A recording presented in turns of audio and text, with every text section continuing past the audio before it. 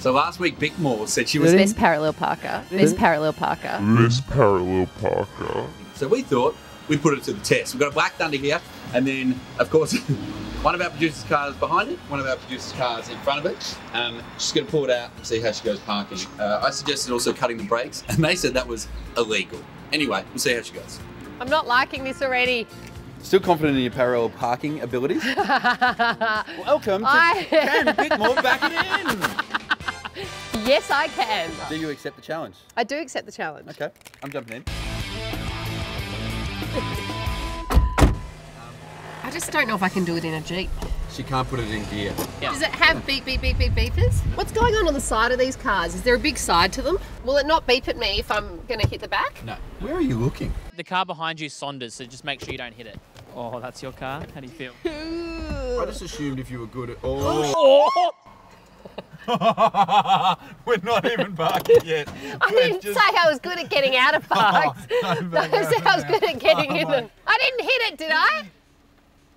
See? I knew it. What's the insurance scenario You're, here? you're paying.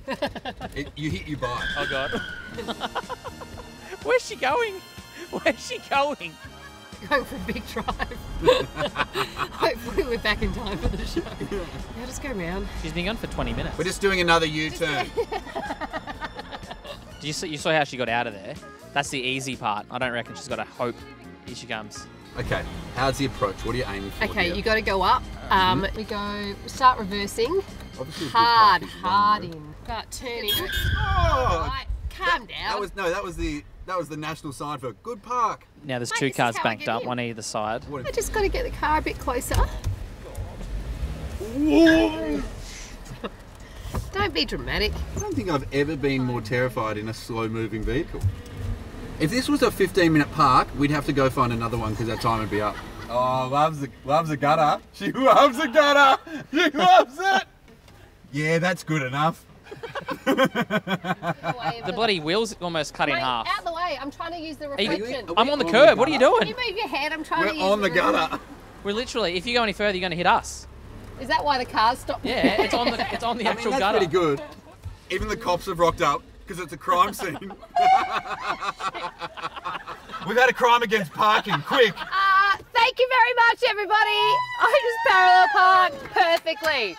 Oh God. Did I do it right? Mate, that's a perfect park. Right up against the edge, flush. you always hope for a flush park.